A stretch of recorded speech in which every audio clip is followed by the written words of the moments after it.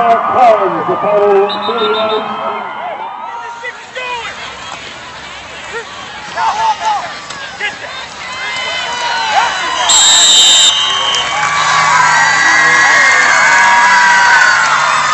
Isaac Gustavo plays the 11 yards.